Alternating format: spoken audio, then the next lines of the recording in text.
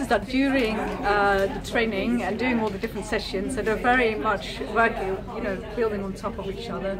So one is one minute and then two minutes and three minutes. And I did feel that I actually could progressively speak for longer instead of one minute, okay, that was okay to feel, and then, oh, two minutes, like, oh my goodness. And then I felt that with all your instructions, I actually managed to do two minutes, and then the same with three minutes. And especially for me, what worked very well was your comment of uh, just going for it, commit to one thing and go for it, and get off the fence and just commit and talk.